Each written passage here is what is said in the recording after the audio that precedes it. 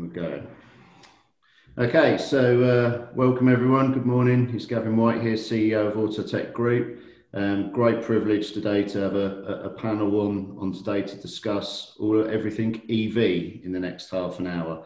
Um, as we know, the government um, uh, changed the uh, legislation uh, a couple of weeks back now, and uh, and uh, EV is certainly on the subject of everybody I'm talking to at the moment um, around the rush around training and cars and technology and everything else. But we, for, for the industry, we all know how that uh, how that's been affecting people over the last decade or so as, as cars have been slowly moving into the industry, but that's that's naturally going to speed up. But it's everything else in between that we want to discuss today. So with me today, just to do some quick intros.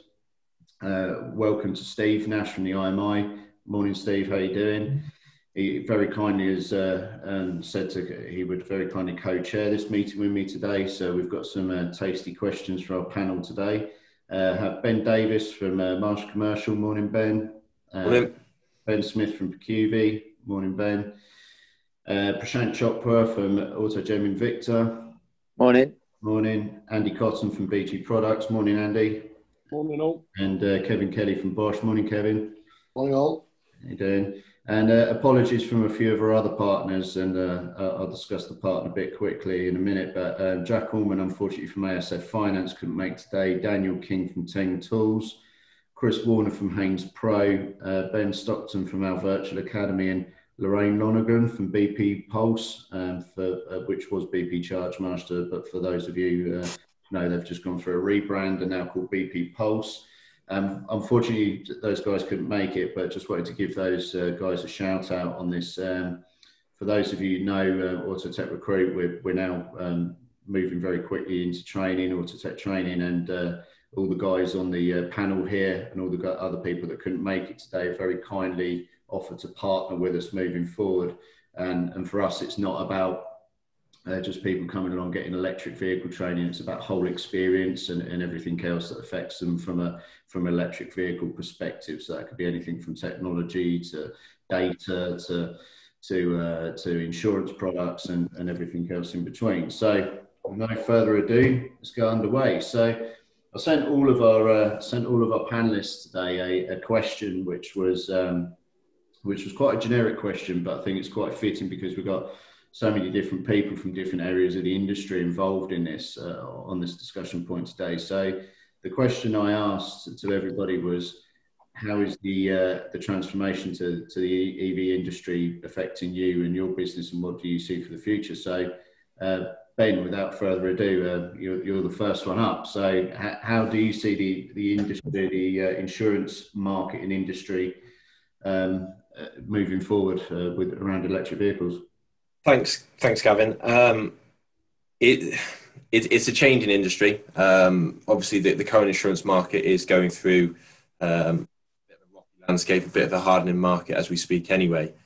But with with ever with any any new products that are coming out in the market, it, it's it's an inherently new thing that we're trying to experience. So when you combine electric vehicles with the the liability element of obviously for somebody working on them really does open up a whole new channel of questions, uh, risk management. At Marsh, we try to stay around risk management as our our key focus and understanding the training, the awareness of the people actually working on the vehicles is is key. So I think from a business point of view, it will help, and I think it will help all the business owners with the more we can work with business owners in an EV installers or EV manufacturers, um, I actually think that we will we'll, we'll, be able to help a lot of business owners in the future. And, and, from our point of view, obviously, the more business owners we can engage with, the more insurance premiums we can help and assist and make sure they uh, that they're they're correctly covered, which is is key nowadays. Is it's easy to get insurance cover, but getting the right cover to cover all your staff and any exposures is is the biggest biggest thing that we find. So. Mm. I know we were just talking a few bits about this off air. Steve, Steve, you brought up some interesting points on this that you think is is very. Uh, you're obviously very interested in, certainly around the IMI TechSafe side of things. Well, yeah, I, I, I mean, I, I, I to say that this is kind of uh, um, slightly wild west stuff. You know, I mean, we we we've kind of we've we've we've jumped 100 years, haven't we? we we've got a model uh, in the in the automotive industry that's a, that's pretty much 100 years old. Go take it back to the First World War. That's when the modern motor industry evolved as we know it. Um, and and um, this is a complete change. This is a complete change. And look, government um, on, on, a macro level, it's one thing to, to, to mandate that you can't sell internal combustion engine cars from 2030. But when you get down to the detail, the government aren't really that much more knowledgeable than anybody else, you know. So I know because we took a whole series of MPs along to a manufacturer's academy and showed them electric cars, and everything we showed them blew their mind because to them a car's a car's a car. You know, when you lift the bonnet and show them how different it is. And then when you say to them, well, what what regulations exist around this? And as you know, I mean, I think it was a, at least a three year crusade on my part personally, with the revolving door of, of, of ministers to try and get them to understand that you need to make sure that the people who start working with this stuff know what they're doing. And it turned out not with any help from the government, but we were able to establish that actually the existing Electricity at Work Act applies. So there is regulation around people working on, on electric cars. Believe it or not, anything over 50 volts, which pretty much even includes a mild hybrid because they operate above 48 volts, don't they? So, you know, um, and that's what we built the IMI TechSafe standards off the back of. So, but but the question really around the insurance and and and um, probably a fair fair point to put to you to you Ben is you know if somebody does ask somebody to do work on one of these vehicles and uh, and and take the risk without the proper training and maybe without the proper equipment too, and they get injured or worse because you know 800 volts of direct current up your arm is going to do more than spoil your day, isn't it? Um, if that were to happen, where would they stand with their liability insurance? So, going back to uh, again what I said, Steve, is is the key. The key point is making sure that the insurers are aware of any activities that are being undertaken by garages or fast fit centres. Um, hybrids when when we go in when we're doing our fact finds with our clients for example hybrids are a question set for us now. The the standard combustion, you know, are you doing RF134A gas? You know, are you doing aircon? That's out of the window. Hybrid vehicle questioning is where a lot of motor manufa- a lot of motor insurers are asking us now. Um, when I've engaged with underwriters about this, is the liability element will be could be contested because it would be has the garage owner given the right the right training, but then has the technician worked to the standard? You know, if they've got level one in EV training, is that relevant to their to the vehicle that they're actually working on? You know, if they need a level three qualification, is that relevant to to what standard they're working to? So. Um, it, it would be it would be something that would be possibly a contentious issue with with the liability. But I think as long as insurers have the more information you can give to insurer, the better response you'll get from insurer. Now, there could be a a knock-on effect with regards to premiums there, but I think everyone would agree you'd rather have a slightly higher premium if the cover in in such an incident, you know, an 800 volt battery is going to, as you said, Steve, it's going to cause, uh, like I said, a bit bit more than a few stray hairs. So. Um, I think um, I think I think the, the, the, from a liability point of view, the, the the garage has to take responsibility as much as the the employee as well. Well, there's no doubt that in that case they'd be open to prosecution by the health and safety executive. So, yep. so then I think that might influence the insurer's decision about whether mm. or not they would pay out. I, I guess. hundred percent. Yeah, yeah. Okay. And, and, Ben, just quickly before we move on to uh, to someone else, uh, another subject. The do you think would you envisage this um, potentially causing a problem for uh, for personal insurance policies moving forward? Because you know, is this really now the demise of the home mechanic? You know, because I know there's general things, so you're filling up your washer bottles and stuff like that, but you know, cars are becoming, you know, have been more complex the last 10 or 20 years. But mm. I remember when I was growing up, my dad was always out on the drive doing something with the car, but that generally doesn't happen, I know. But you know, would insurance companies potentially even start to write this into people's personal insurance policies moving forward? I don't know. Um, when you look at yeah, I mean, when, when you look at personal kind of personal lines insurance, you've got your personal household insurance, so to speak, and you know having an EV charger on the side of your house completely changes your bricks and mortar cover. Um, I think it will. I, I think it will. I, I couldn't give you a definitive answer because these insurers are they're, it, it's a fluid market. They are changing and doing training. I, I, know, for example, there's a training course next week from an insurer on electric vehicle, um, whether it's charging or it's electric vehicle maintenance. So um, the, the the market is changing almost on a daily constant at the moment. So yeah, what, you just dropped a little bomb in there, actually. Uh, that I don't know that I, I have to pick up on. I, I personally didn't know that having an EV charger on your house changed your bricks and mortar insurance. And, and uh, I don't know how many of the, the rest of the panel did, but that's a really, really important point, mm. you know, because um, I've got one. and, uh, you know, uh, but I think for a lot of people, I mean, th- these are pieces of information that, that are not in, in the uh, out there. Uh, uh, they're not common knowledge, are they?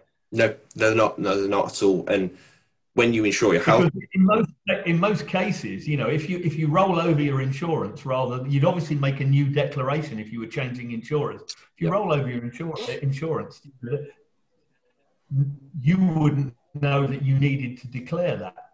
So that's no. a very important point. Exactly that. And when you go for your household insurance, you don't get asked what type of vehicle you have. Mm. So the the kind of, the connecting points are almost a bit a, a bit a breadth, a breadth there, really, because, you know, Steve, if you've got an EV or a hybrid, when you book your household insurance, you don't need to ask the question, what vehicle have you got? Because it's not relevant to your household. So swings and roundabouts, but yeah, completely. Okay, that's an interesting one. yeah. oh, well, thanks for that, Ben. I'm sure no we'll back, we may come back to that uh, later on because I think, yeah, it is an interesting subject and there's plenty to talk about in that. But moving on to so more of a from a I suppose a technology point of view. Uh, ben Smith, and director and founder of Pecuvi. I mean, Ben, how do you see this? You know, from the from the sort of work and sort of technology perspective from you guys, how do you see this affecting the industry moving forward?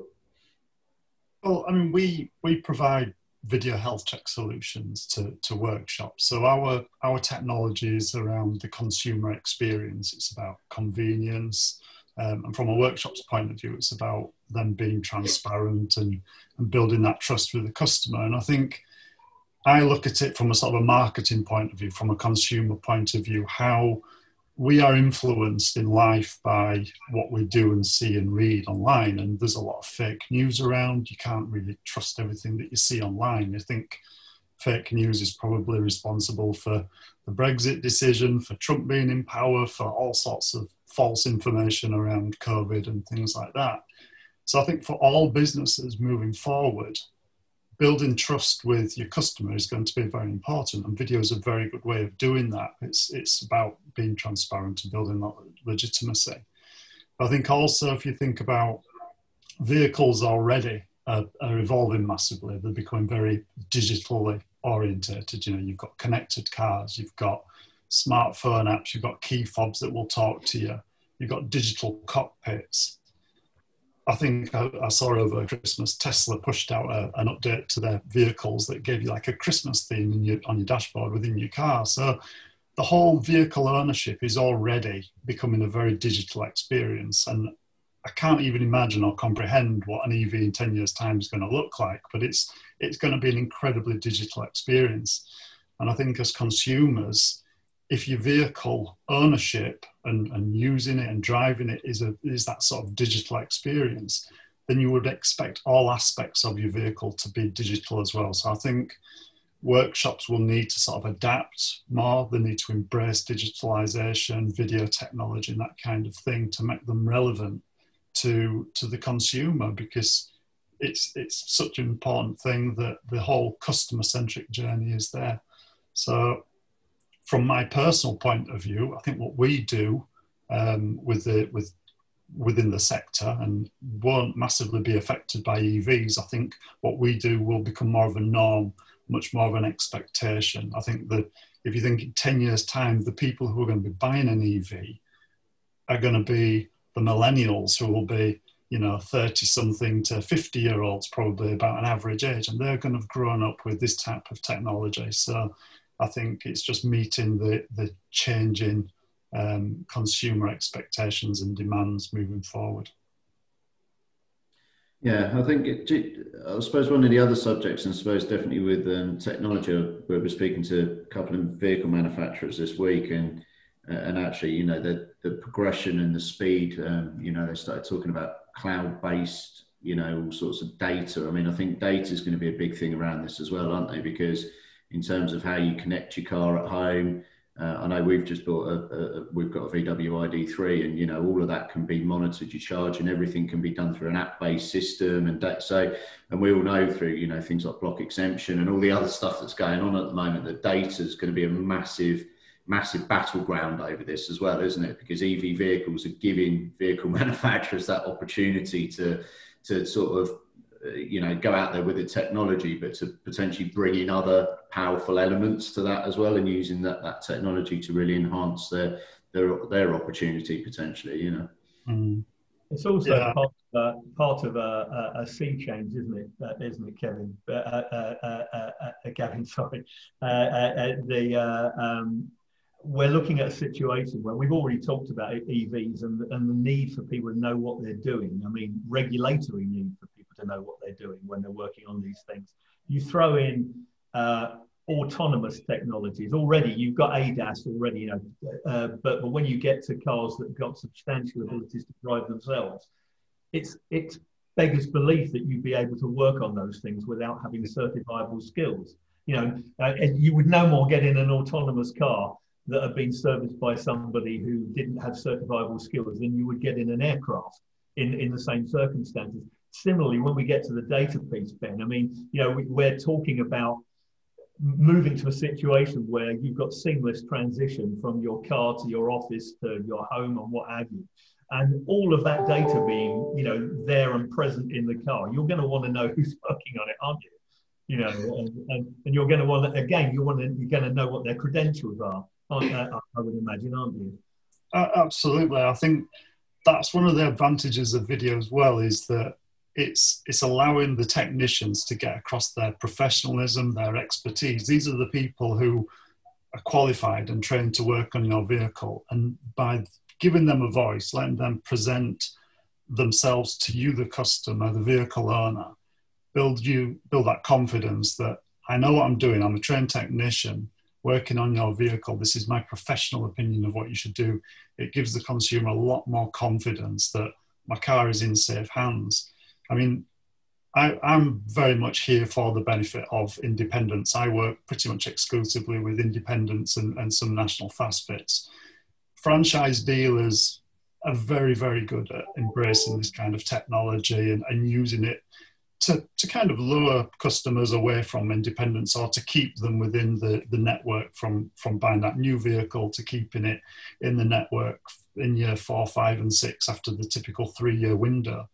Um, so I think independents really need to start embrace this kind of technology to compete with the franchise dealers because there are lots of fantastic, very well trained and equipped independents out there who are absolutely perfect um, for, for working on electric vehicles. They've got the skills and, and expertise to do that. It's just giving the consumer the confidence that, that you can do that. Um, so again, I think using technology to, to sell your business, to sell your skills and expertise to, to the vehicle owners is, uh, is going to be important moving forwards. Cheers, Ben. Thanks for that. Um, Prashant, now I know, uh, you know, th- th- this could pose a real headache and challenge for your business moving forward. And, and, I'm sure probably Andy's in the same boat as well. We'll come on to Andy in a minute. But you know, from the on the different side of the fence, really, you know, uh, from a business, and I know you've got factories and manufacturing that are very much built around, you know, exhaust pipes and exhaust brackets and things like this, and you know, EV vehicles don't have exhaust. So, you know, how's this really good? How's this going to hit you guys? I think it's it's quite interesting. We're absolutely aligned to the internal combustion engine, as as you're saying it. And uh, Autogem was founded in the '60s, selling exhaust fittings uh, when when exhaust used to fall off. Um, and and nowadays exhausts don't fall off like they used to, unfortunately. But but if we look back, there's been a lot of evolution. So in the 90s, uh, the materials that were used on original equipment exhausts improved dramatically, and that meant replacement volumes started dropping. Um, combine in the fact that aftermarket exhaust manufacturers started giving aluminized steel rather than mild steel exhaust systems. That gave longer warranties, and that reduced you know exhaust fitting volume as well. But then you throw in we got catalytic converters, and they used to fail, arguably because of different reasons. It could be sensors, it might not be the cat itself and uh, cat replacement increased. And with that, proliferation of parts came along. Similarly, we had diesel particulate filters come along. And yes, this ban on ICE is definitely going to hit us. But um, I think we've still got some time uh, with, with our beloved combustion engine. And I think we we are definitely going to start seeing the effects over time. I'd say another 10 years or so, it's going to start hitting harder and harder and harder. In 20 years, I don't think there's going to be an emissions business to pass on to Chopra Junior. Let's put it that way. Um, but we're already adapting to that, and we identified this a long time ago. Actually, when we bought the Autogem business, and we realised exhaust volumes are dropping. How can we get involved in different sectors? So, as a business, we got heavily involved in the tire industry, and we do tire consumables and TPMS and our wiper blades and, and things like that, which aren't necessarily affected by the internal combustion engine and I really enjoyed listening to what Ben just had to say. Ben number two, I'm going to say, not Ben number one. I enjoyed what you had to say, and I'm terrified about the EV charging point thing that you brought up as well. But, but Ben number two, I really liked about what he talked about engagement with the consumer, and, and perhaps we can touch on that a little bit later on. And we're now looking at products that can help our customers engage with their customers effectively um, and, and improve things. But I think fundamentally, whatever we have, we're going to have to treat this ban just like we've treated 2020 as a COVID year. Uh, and it's challenge and we have to embrace it. We have to deal with it. We have to be nimble.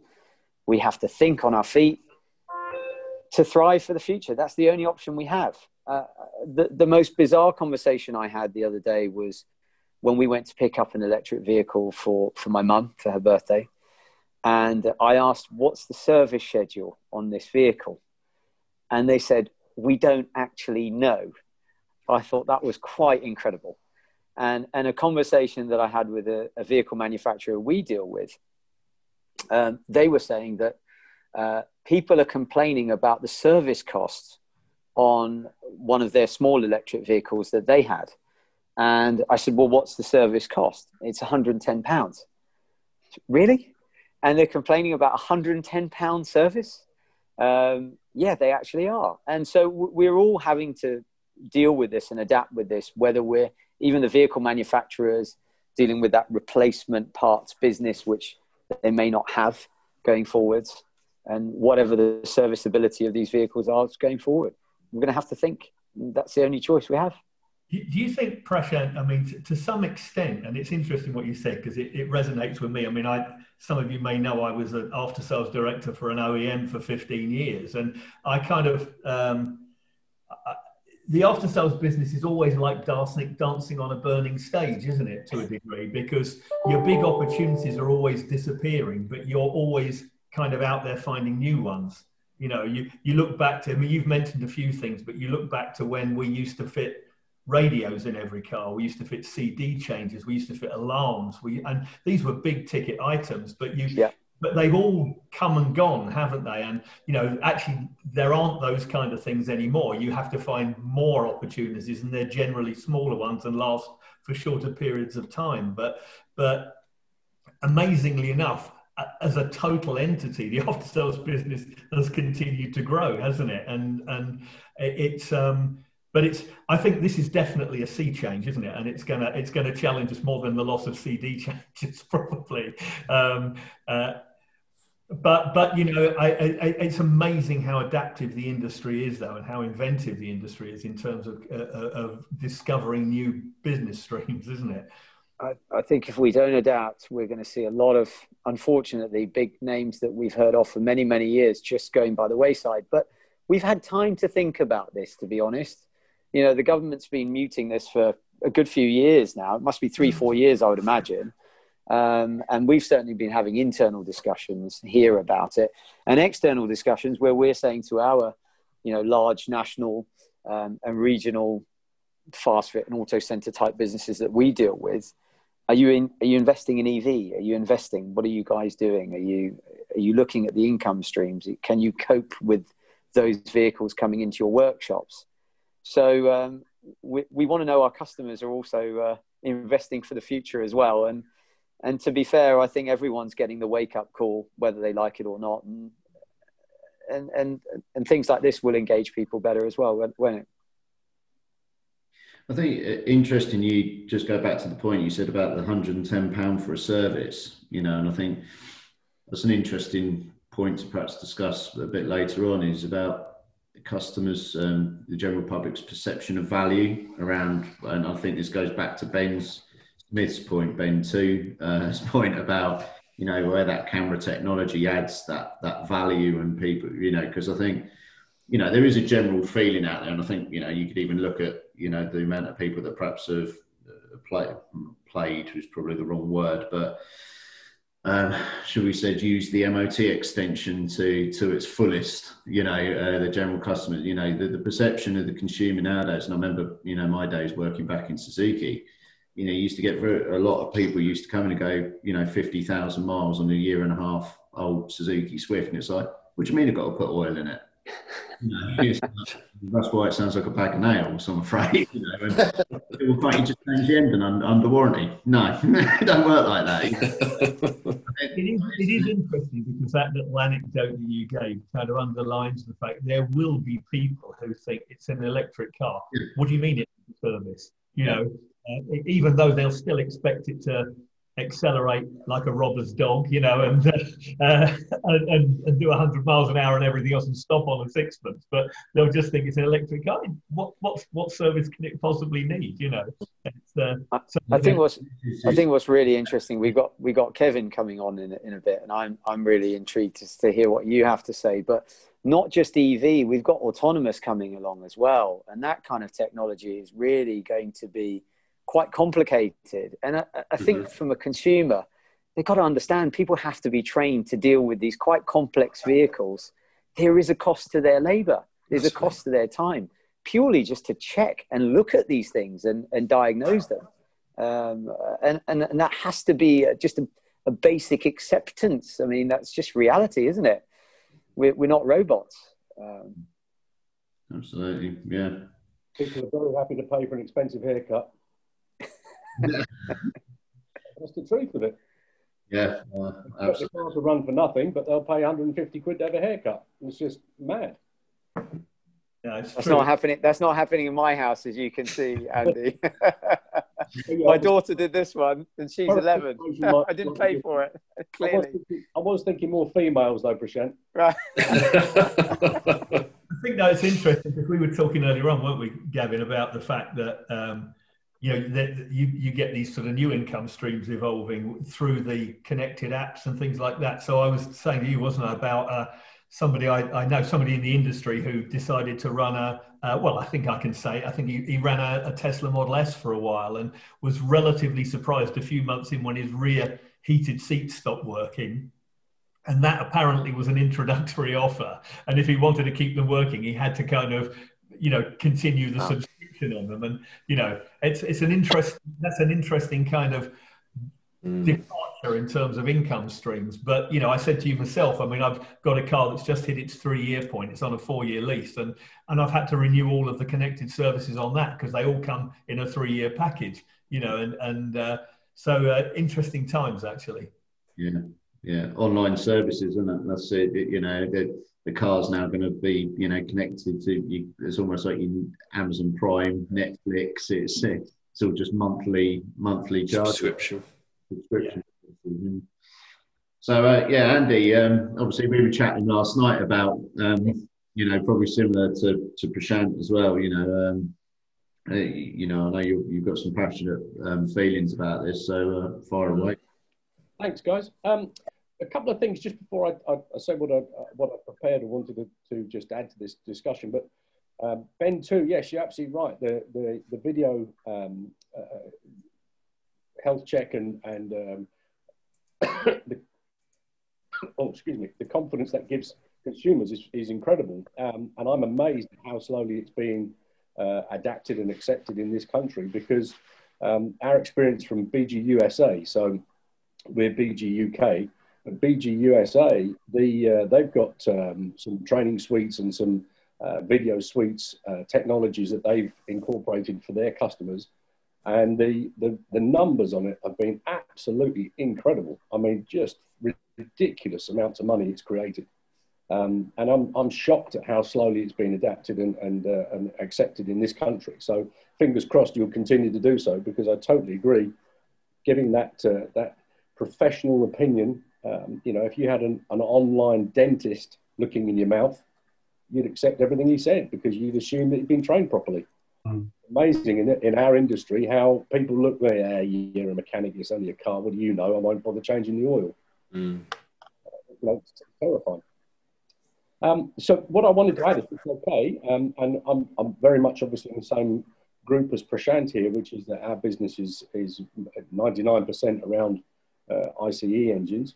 Um, although BG are trying very hard to come up with some, uh, and we do have some EV product, uh, some HEV product, um, but coming up with uh, opportunities for our customers regarding HEV and, and EV with other fluids and, and, other moving parts. But I think um, what I wanted to add was just a, just a hopefully just a tiny bit of balance. Not that I think it's been it's been very much uh, electric uh, uh, praising the electric god in this session so far anyway, but that we have around about 39 million internal combustion engines on the UK roads at the moment. Uh, the capital expenditure of getting rid of those and putting in electric is just, just impossible. Um, and that's on one side. There's another couple of arguments that we could put in along the side of carbon output, carbon production costs on EV being, being considerably greater than, than ICE. And then another final one on this, just on keeping it very simple, is that actually I, I, did the math and we, uh, we checked it with the national grid. Um, it would only take something like half a million electric cars plugged in at once to cripple the national grid.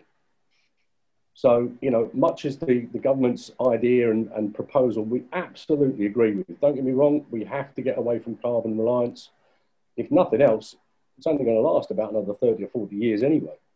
Um, I'm just saying that potentially and hopefully with all the problems that will come out of EV, um, which will be rechargeable batteries and then them not being able to be recycled and then loss, loss of power and the ability to, to create the power to charge the batteries. And then you just think about the size of the vehicles that they're going to try and generate. So, you know, yes, we have now got some, some buses on the roads, um, but I know that they're struggling. So, for example, um, Edinburgh Council bought, I think it was 12 electric buses that had to put out of service immediately because they wouldn't go up the hills with passengers on them. Um, you know, it just, there are things that are shortcomings. So think about all our delivery trucks and all our HGV and, and LCVs that are out there, you know, running around all day long, running out of charge. You know, imagine how, how annoyed Mr. Con- Mr. and Mrs. Consumer are going to be when the Amazon ring them up to tell them, sorry, the, the battery's flat, you'll have to wait till tomorrow. Um, you know, the, the, guy did his 60 miles. That was all we could get out of the charge, and we've got to tow it back to the garage, and it's now going to be put back on charge, and etc. etc. So I think a little bit at this moment, my uh, my point back to uh, to Gavin was, well, it's a little bit like we're all in this stasis at the moment, where we believe there's a future, and yes, it has to be an alternative future. It has to be non-carbon reliant. So whether that's HEV or whether that's EV or hydrogen or nitrogen or all sorts of other things that have been talked about and I'm sure people are working on. Um, that yes, we need to know that we have these things coming. So it's a bit like at the moment, we're all in lockdown believing that the vaccine is going to set us free. But nobody would ever say that, you know, whilst we're waiting for the vaccine, ah, don't worry about it, don't bother washing your hands, don't bother wearing a mask, don't bother with social distancing, because there's a vaccine coming, there's a vaccine coming. Mm. So my point purely about adding to this is that, yes, EV is important, HEV is important. Yes, training is critical, and absolutely can't agree any. I couldn't agree more with the fact that yes, anybody working on these on these new engines, new technology needs to be trained perfectly and properly and consistently up trained because one, as you say, one 800 volt up your arm is not going to do much for your day. Um, so making sure that the industry adapts and the industry trains and the industry looks after its professionals and they are regarded as professionals to be able to charge proper money for a proper trained job, a proper skill, and that will then grow and develop. So as I said, just coming back to this vaccine thing, I think we ought not to ignore the fact that we have and let's call it for sake of argument, 30 million internal combustion engines for the next 20, 30 years possibly. That, you know, we should be focusing on the future. We should be applying our brains to what's coming. We should be looking for new opportunities, but we shouldn't ignore the existing opportunities, and we're still not maximizing those. So Ben two's about the video. Absolutely, that's exactly right. Show the customer why it needs, for sake of argument, why you'd recommend it has a brake fluid change or it has an internal uh, has a, a, power steering uh, fluid change or whatever it happens to be. Um, and these are things that obviously as BG Products USA, we, uh, the last thing I'm going to say on that is that BG have something like a 53% market share in dealerships in the USA because they do the job well for their partners, their customers, their customers being the garages. So let's continue doing a good job for everybody. Let's continue charging the right money that means that it's a professional job done, job done professionally. And let's not throw the baby out with the bathwater or, or you know, all sit around saying, well, I won't bother wearing a mask and I won't bother washing my hands and I won't bother with social distancing because we've got a vaccine coming. That vaccine being EV vehicles is going to take a lot longer to arrive than, than we possibly would imagine at the moment, despite the government's protestations and uh, imploration that uh, everybody should move to an electric vehicle. If they could, they couldn't afford to anyway. Mm. Yeah, I think it's um, it's interesting because um, you know, like you said, I think price is still playing a big issue for the consumer at the moment in terms of actually being able to afford this technology in these vehicles. Um, and we, we, were talking about this the other day, Steve, weren't we? About you know, I think Toyota are trialing a solid state battery at the moment, and so all this technology is going to be moving quickly. And I think you mentioned as well about you know, actually electric motors may then start to look to have some sort of fluid in them or oil in them so they last longer. So there may be other opportunities that arise, you know, instead of our traditional, you know, oil and lubricants, and then might start to take place in the EV vehicle over time in different ways anyway. I think, guys, I mean, we, we all, we're all, I think pretty much we're all old enough to remember what mobile phones used to look like. You know, when they were the size of a house brick, and they, you know, one long co- one long phone call would knock the battery out. And it took us kind of 25 years to get here, really, or, or thereabouts.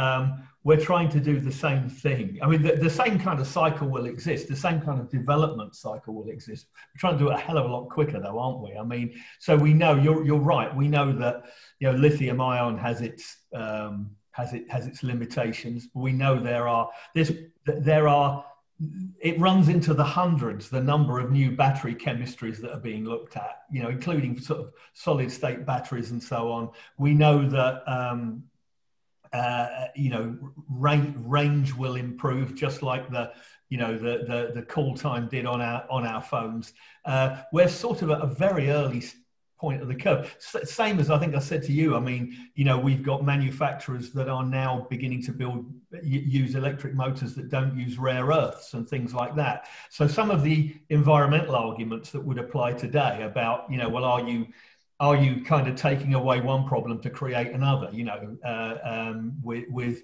the way that some of those some of those elements are mined and so on in, in, in certain parts of the world? You know I, I think we're, everybody's aware of that and they're moving away from it but it's it's a hell of a short time scale to do it in really. Um, but, but you know, let's let's not forget that the manufacturers are being driven. I mean, this you know we're looking at 2030, but at this end of things, they've got the the so-called CAFE regulations, haven't they? That they've got to they've got to meet the, these incredibly stringent. Uh, I, I, think uh, uh, um, emission regulations that are driving them there anyway. And I think the CAFE regulation more or less requires zero tailpipe emissions by 2030 anyway.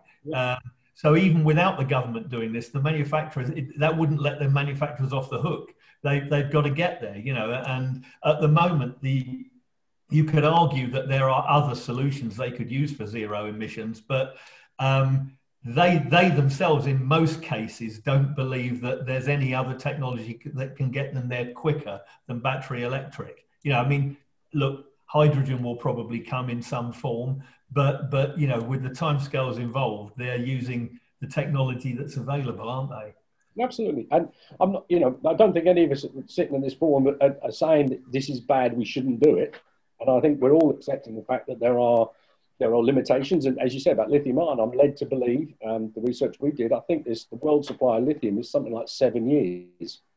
Wow. So even if, even if we suddenly decide, yes, this is perfect, it's brilliant, we can't replace them, you can't recycle them, then suddenly they come, become another toxic problem. So mm. yes, manufacturers are aware of that. They will be working on other solutions, and of course they are. But the simple uh, point that I was obviously just trying to, to expand upon was the fact that the country and the individuals in the country will not be able to afford to replace 39 million engines. No, no, of course not. By Friday, by Friday anyway. So, you know, let's not throw the baby out with the bathwater. Let's not ignore what we're already good at uh, and should be getting better at and giving customers better experience for one, uh, justifying why we charge the prices we charge um, and the benefits they get. And as you said about the perception of value, it's not about cost, is it? It's about value. Everything's about value. Um, and value is an internal judgment that uh, individuals make and will justify. And as I said, about 150 pound haircut, somebody will justify it. Oh, because I look good, I feel good. There's my justification. Mm-hmm a lot of your point, Andy, still comes back to the root root problem that we we've had all along, whether it's technology or whatever. It's about that professionalism. It's about the professionalisation of the industry, isn't it? You know, who's obviously you know been the IMI's mission over the last decade. However long, but that's you know, and, and, and we'll we were set up for hundred years ago, and uh, unfortunately, I, I, think to some extent, you know, some uh, some some level of regulation helps a bit you know, if, if you were in a situation where, if you're actually in a situation where people who don't know what they're doing, because let's be honest, the fact that anyone can set themselves up to service and repair cars with or without any knowledge, skills, or proper equipment doesn't help our case, does it? You know, I, I, you know, the amazing thing is, and I've had so many conversations with so many ministers who don't seem to realize there isn't any regulation. You think, well, if there was, you'd have created it. So how can you not know that it's an unregulated industry. But I don't think that's the future. We, we have the Electricity at Work Act here. We're bound to have some regulation around autonomous cars and connected cars. And I think that's, uh, that will only help us actually in terms of getting the value proposition across because nobody questions the value of an, an aircraft technician, mm. even though they might not be any more skilled than the guys we use. They're just checked and uh, they're just checked more than, you know, uh, than our guys are.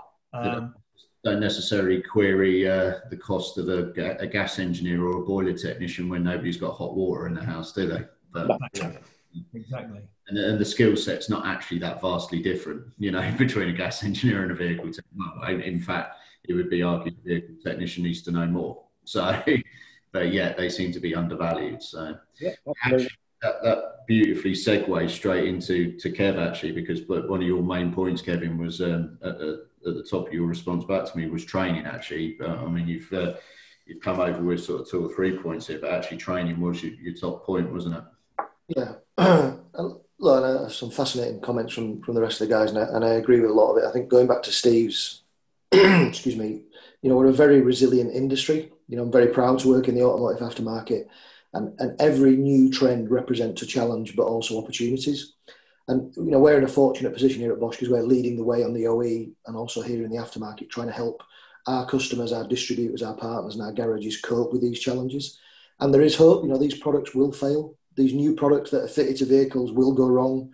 They're still exposed to the, the wet and the road salt and you know damage. So they they'll represent new product opportunities, which which I think Prashant and Andy have said will come along, and where one of the things we're working on this year is to try and crystallize that for our customers, for our distributors and our garages, saying, as the technology evolves, yes, you'll sell fewer of these, but you'll sell more of these. and here are some new products that you'll sell. Um, so there's, there's there is definitely an opportunity. I think I think where I'm concerned, you know, the industry's always coped with evolution. It always has. It always will. But when you've got a hard stop and not not a policies, lot of list of policies that then support the the sector and society to cope with that revolution as opposed to evolution. That's where I've got some concerns and, and training, as you point out, Gav. You know, apprenticeships are already underfunded. You know, there's a, been a 20% reduction in apprenticeship funding, uh, a 10% increase in costs because of the endpoint assessment. The gap should be filled by the employers, but employers are struggling. Both large and small employers are genuinely struggle to pay that that, that gap. So the, the, the risk is poor training at an apprenticeship level. And, and remember now, we're asking our apprentices to do metric and imperial because in, internal combustion cars aren't going to disappear. Yet we've got to, so we've got to train them on internal combustion engine technology and EV and hybrid. So we're actually the training's getting more complex and more filled because those vehicle technologies will exist on the road for 25, 30, 50 years to come. So that that's a real concern for me is that the people coming into the industry are getting uh, not getting the right training and the right right start in their careers.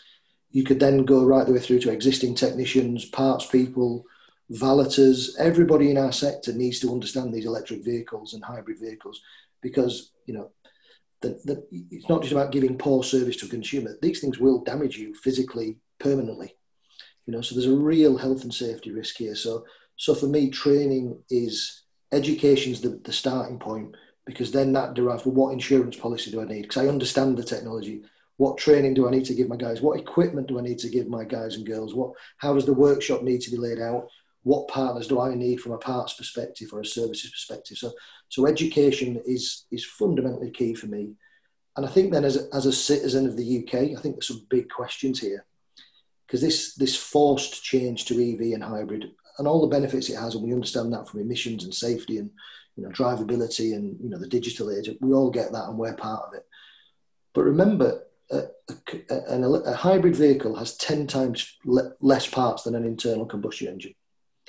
It has ten times fewer manpower requirements in the production and logistics of that vehicle. So there's going to be a huge impact on employment here, huge impact. And are we ready as that for society? And also moving away from fuel duty and fuel tax. There's going to be a big gap in the government coffers, and I'm sure Steve's, Steve's come across this in his, his dealings with the government. So, how are the government going to fill that gap? It's going to be road tax, it's going to be pay per use roads. You know, we talk about pay per use phones, you'll have much, much more income. So, I think there's an industry focus we've got to have, which I touched on in you know, new opportunities, training, challenges. There's the education element for the entire sector but then as a society, look, there's some big impact here. And are we ready for it? As, as the UK and Ireland? I, I don't know. Are we ready? Yeah, yeah to be honest, a good point, mate. I, hadn't even considered the things like the, you know, the loss in fuel duty and stuff like that. Yeah, I mean, that's, uh, you know, it's going to, it's not just the, you know, I suppose the bubble we live in is the, is the industry at the moment, is the wider, is the wider impact in society altogether, isn't it? You know, and, and the infrastructure. You know, uh, the infrastructure. Have we got the charging points? The national grid impact. Look, I mean, I think there's nobody on this call saying let's not do it. We all want to do it. We will do it, and we'll meet the challenges. But we need the policies and the support from the government in place to help us deliver that. And, I, am not sure the words and music are matching. Mm.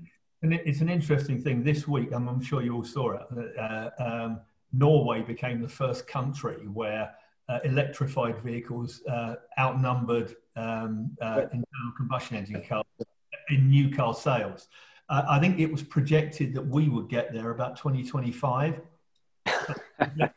that projection was there before the um, before the current situation, before the 2030 date was brought in. I'm not sure technically whether it's possible for the manufacturers to, it's going to be around that time i don't think it will have come forward much because you've got to have the products available haven't you but you know you've got big players like volkswagen group who are absolutely committed to this who are bringing huge numbers of new vehicles to market um, uh, so but you're so you're, you're right the government have as yet have got haven't got a stated policy how they're going to replace uh, um, lost taxes and so on, but we know that they will. They'll have to, won't they?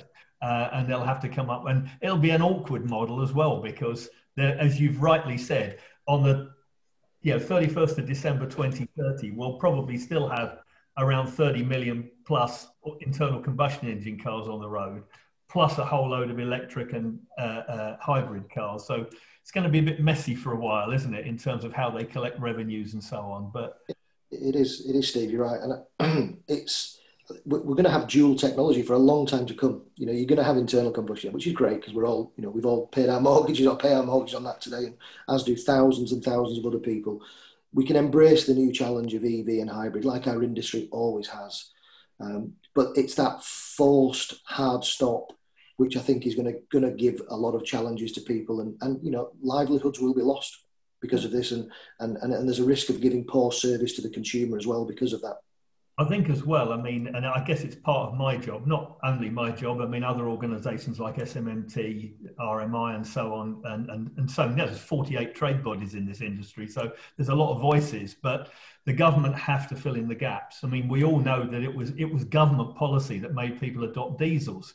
Mm. You know, they didn't know what a diesel particulate was at that point in time, you know, uh, uh, and and they only discovered those things later on, nitrous oxide or whatever, you know. Uh, uh um, uh, uh, th- those issues became was something they had to deal with after the fact, and they need to do it better this time. I mean, they they understand what they're trying to achieve, but they need to understand what the collaterals yeah. are from that, don't they? You know, definitely, and, and the, the, internal combustion engine can play, a part towards zero emissions. You know, the synthetic fuels, there's improvements still in the internal combustion engine to get to zero emissions. We know we want water and oxygen to be coming out of that pipe, nothing else, and there's still mm. technology, you know, growth potential there, and you know, synthetic fuels must play a part, you know, in in that moving forward. So we can, we, as a society, we can achieve that that zero carbon emissions and zero, you know, poison gas coming out of the vehicle, but it doesn't you know, I think it's a blended approach rather than a hard stop with one technology disappearing. I don't think that's that's the right sensible solution. Some of the new Euro six diesel engines are cleaner than ever, cleaner than some of the petrol, aren't they? And that's that's the, the misconception that's out there in terms of the consumer and the general public is that diesel, like Steve was saying, was you know 20 years ago was the thing that was being peddled, and now it's the thing that's being stuck in the ground type thing. But actually, again, the misconception is that some of the new diesel engines are are, are exceptionally clean. Yeah, we've done we've done experiments in, in the real world where the air coming out of the car is cleaner than the air going in. I think you the yeah. around all of this though are incredibly challenging because uh, I, I mean I know from my former life that yeah, when you get down to the levels of emission that diesel cars are at now, each incremental step is is exponentially more expensive to achieve. So to get from sort of 90 grams down to zero is hugely expensive. But at the same time, you know, I don't think anybody actually makes money out of electric cars at the moment. I mean, that's that the, the economics of that are still being worked through. You know, I mean, the, the the, the huge wealth that Tesla has generated is not really actually on the product; it's around their their expected share value and everything else, isn't it? But but um, you know, again, I'm sure we'll get there. But at the moment, the battery is 50% of the value of the car. you know, and and that has to come down, and it will do. It will do. But uh, yeah, it's in, uh, in, in interesting. It's an interesting challenge that, that that we face. But you're right. We've got to. I think the other thing is when I talk about filling in the gaps. I mean, other issues like MOT. You know, making sure the MOT is fit for purpose around electric cars, ADAS, autonomous cars, and all that kind of thing. I mean, those things need to move at the same pace as they're expecting everybody else to move. Mm. Yeah. yeah. We still can't we still can't test adaptive headlights, Steve. So God knows what we're going to do.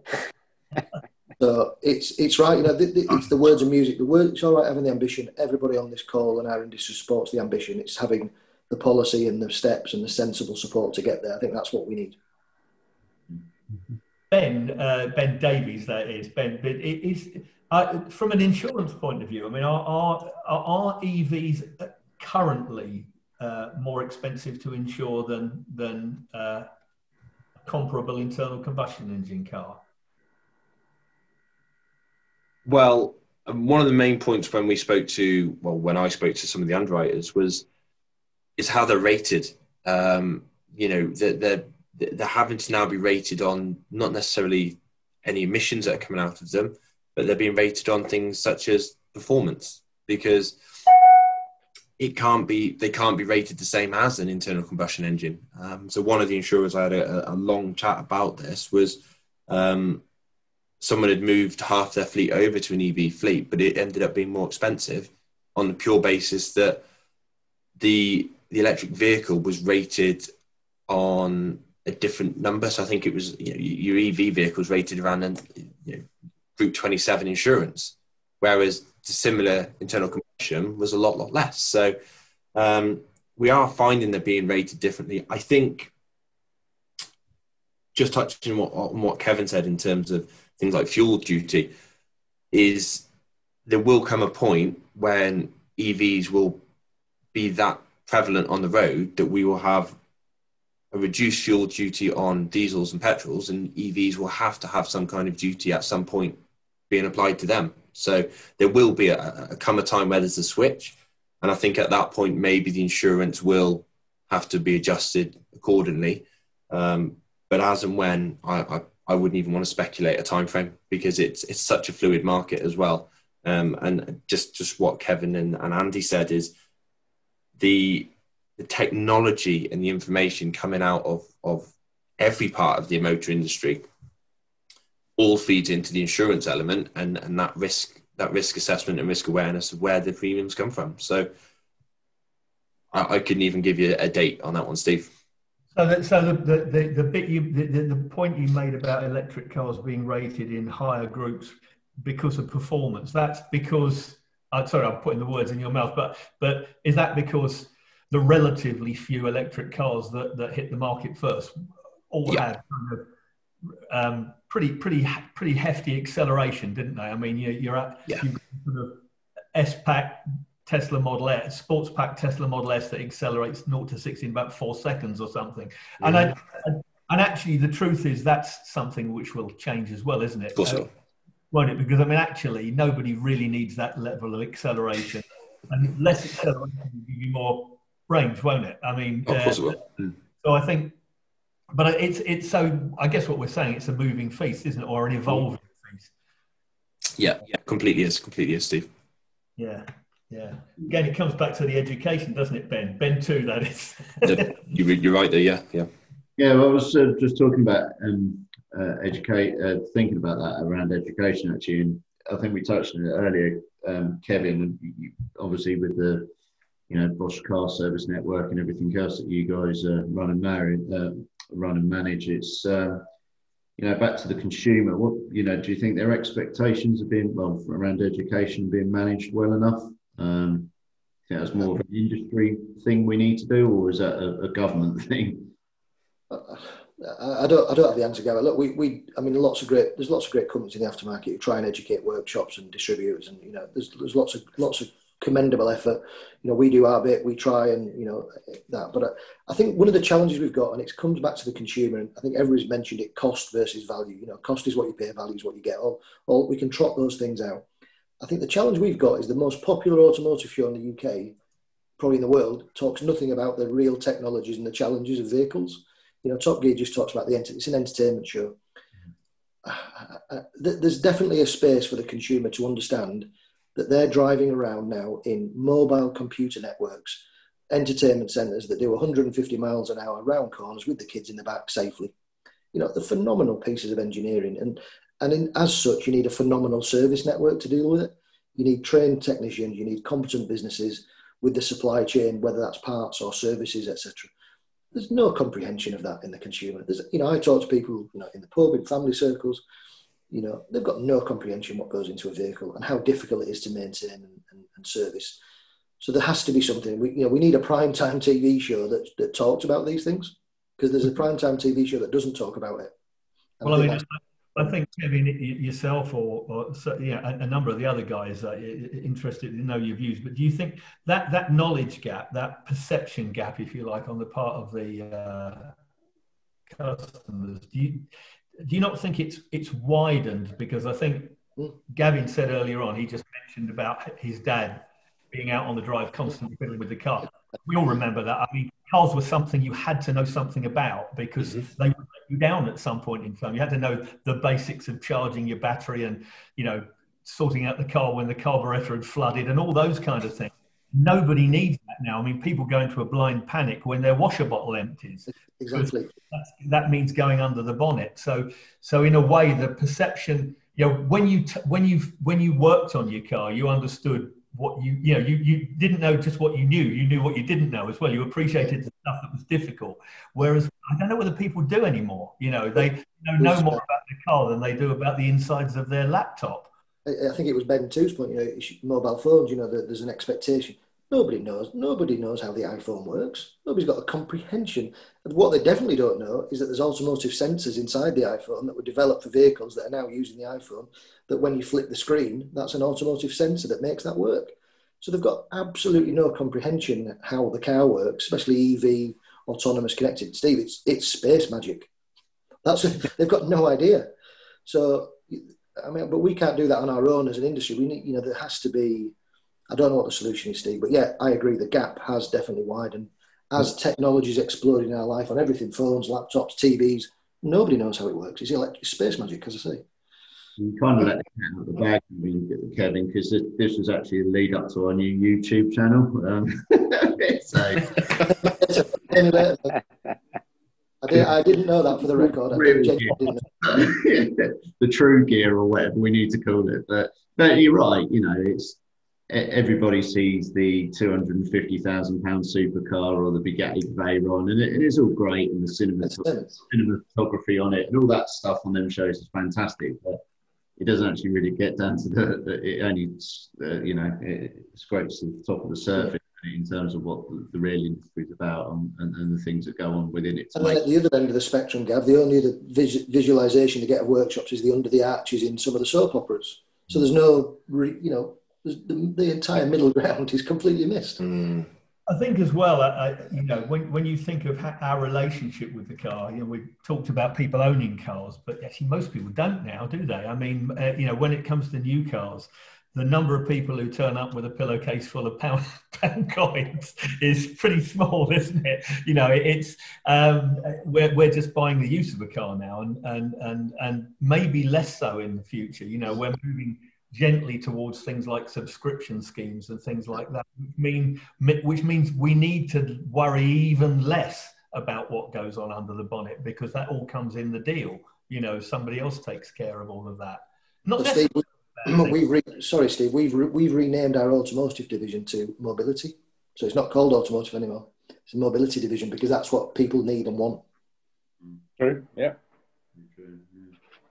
But one of the good things about the mobility issue is that you know car, the, the cars that we have will probably get used more. You know, I mean, most cars are used what less than ten percent of the time, aren't they? They're either sat outside your house, outside your office, or outside a shop. Um, uh, they're you know very little time actually on the road, and and and I think that I think that's a prediction that's been made by a few analysts that, that with a with a broader use, maybe possible sharing of uh, uh in some way that, that we'll see more use of those vehicles and therefore they'll have higher service requirements. Yeah, agree. we agree. COVID set that back a touch. Obviously, car sharing is a touchy subject and understandably so at the minute, but the projections are car sharing, car usage will increase even if the number of vehicles reduces. Yeah. I think as well, if, if the cars are ultimately owned by a big organisation rather than by an individual, so so you know you as the driver don't worry about the servicing. But I think you'll get, you you've got a better chance of the the ultimate owner of the vehicle understanding the, the service and maintenance requirements and the value in that than perhaps your average motorist does. And perhaps, Steve, uh, perhaps also the duty of care to those users. Mm. Uh, that's true. Yeah, that's a good point. Actually, very good yeah, point. Agree. Yeah. yeah. Just just by illustration, Steve, what you're saying they're one of our larger customers is a couple of councils, and you know they they over the last few years have come to realization and now over service. They're very happy for the fact that we've proven to them that lifetime extension is very important to them, and the cost of obviously vehicle downtime, repair, recovery, etc., and, and loss of these are school buses and things, loss of loss of earning times, is far greater than the cost of an extra oil change. Yeah, so yeah. big, big, manufacturers or big owners of vehicles or big corporations or big companies, whoever it is, when they finally look at the numbers and go, well, it's going to cost me X, but it's going to, in revenue and income and downtime and, and everything else, it's going to cost me three times X, it's a no-brainer. and it and and you know in in those cases they're talking about extremely big numbers aren't they i i, I was talking to a guy from enterprise actually and enterprise are I'm sure you guys know they're the world's biggest hire company they don't talk about car hire anymore you know they they again they they, they talk about mobility because who better maybe to supply you with what car you want when you want it on a subscription basis than a company that owns zillions of them you know uh, uh, and but again, they do understand that, that, that they have a. It's easier to convince them, perhaps. I mean, they're obviously coin operated. Everybody is, yeah. But but but but understanding the value of spending a little bit to gain a bit is is easier to do mm. when you're dealing with it kind of collectively than with your average individual motorist. You know, many of whom think that the annual MOT is good enough to to keep their car running. Um, just conscious we've been going about an hour, guys, so probably want to just start. Sorry, Gav, your lips are moving, but I can't hear you. Oh, can't you hear me? He's probably ordering his lunch on the side, Steve. That's what he'll be doing.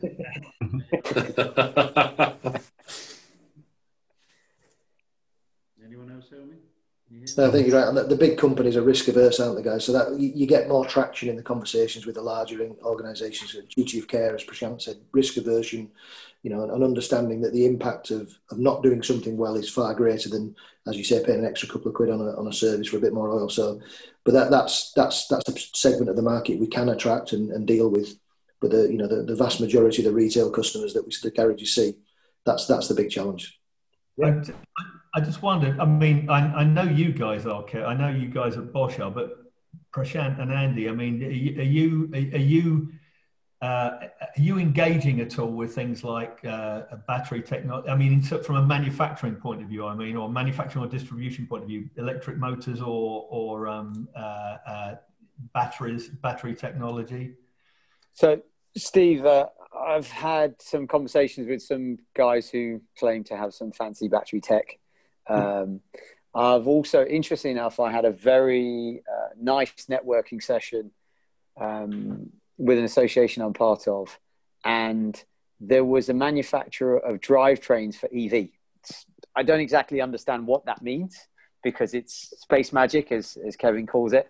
Uh, but uh, I did ask the question of what's the serviceability of those items and they actually said he he said something very interesting to me. He said that in Holland, um, a lot of the the taxis there have really embraced these Teslas for many years. I, I don't understand what the government subsidies are, but they must be huge uh, mm. to have kicked that all off.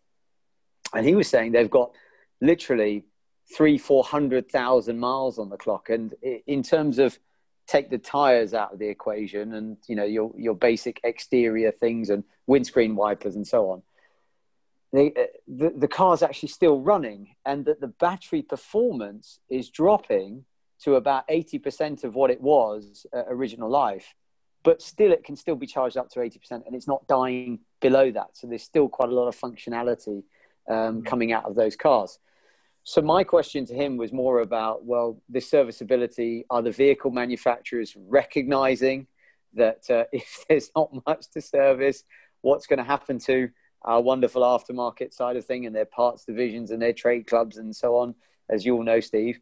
Um, and uh, yeah. they said that some people are thinking about what sort of elements to bring into serviceability. Um, but a lot of the systems are so modular now that if one little component goes, you have to take the whole thing out and chuck a huge, great thing in. So the cost is, is quite prohibitive. Um, but yeah, we're, we're looking, we're definitely looking um, we've we've got some ideas. We've definitely got some plans coming uh, later in the year, which which may definitely amuse the people on on this um, on, on, this conversation for sure of, of what we'll be launching. But uh, yeah, I think it's about engaging in different spaces and just being creative, really. Okay, it sounds perhaps like a, a natural place to stop. Um, Gavin's got a, uh, uh, a faulty microphone, so he can't he can't thank you all. So uh, I'll come on and thank you all for your time. It's been a really interesting one. I'm off to uh, Direct Line to check on my uh, insurance, uh, along with Steve and, and everybody else. Uh, but thanks again, guys. I'm sure we'll get the opportunity to talk some more, perhaps more from that sort of subject of a consumer perspective that has really come forward. Um, it's been a really interesting conversation. Thanks very much. Cheers, Simon. Thanks very Cheers, much. guys. Guys. All the best. Cheers, everybody. Take care. Bye.